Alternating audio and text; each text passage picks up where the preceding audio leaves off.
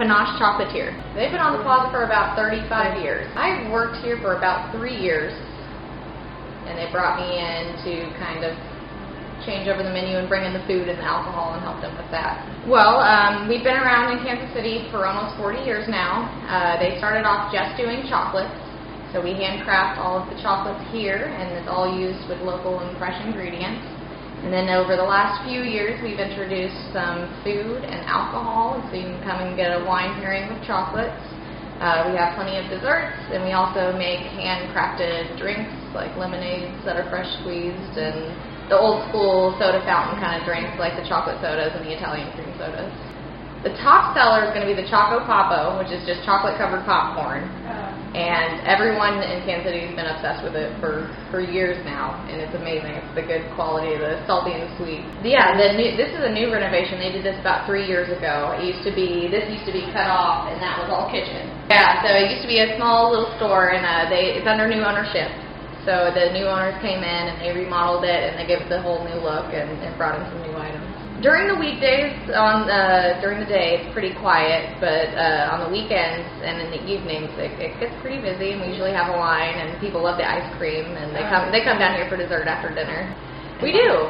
We get you know we do get a lot of kids that come down here on the weekends because they like to hang out down here and there's not really a ton of little snack shops around, so we're kind of the go-to place for everyone to get a little snack and a drink.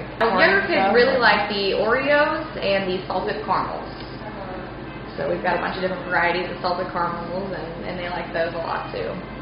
We do we serve quiche and muffins and things like that. So um, it's a lot of the staff around here will come on weekdays, but on the weekends we do get customers coming in for breakfast and, and the Parisi coffee who prepared the Parisi. We do have tons of regulars, and we know them by name, and they know us, and yeah, they they come every day and they'll sit outside and have ice cream and enjoy it. My name is Deanna Mason. Um, this is technically my sixth day, Oh, but it's week four. Yeah, um, it's, it's a lot of fun. I get to work with all the different chocolates, which I haven't had experience doing that before, but I do have experience as like a barista and cashier and all our sorts of experience. So it's been pretty neat. The most things I've made are ice cream. Um, like I've, I've made the different ice creams, which is pretty cool. Yeah. Um, but the truffles have been pretty neat. Like, Oh, yeah. yeah, it's, it's a fun dipping process because it's all done by hand. So Yeah. I was just trained here, um, and it's just following the company procedures.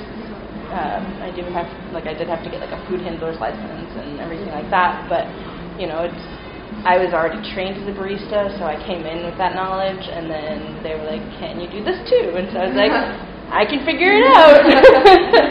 but I, I didn't get the, like, I don't haven't had the opportunity to like say, "Oh, can we try making this yet?" or something like that. But maybe in the future.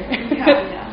So they each have a like the truffles. They they all have a different internal um, base because that's where you get all your flavor in a truffle, and then they have the outer coating that you have to work to dip the chocolate at the right time. Otherwise, you know, Yeah. it'll just fall apart. So it's it's kind of an interesting process, but.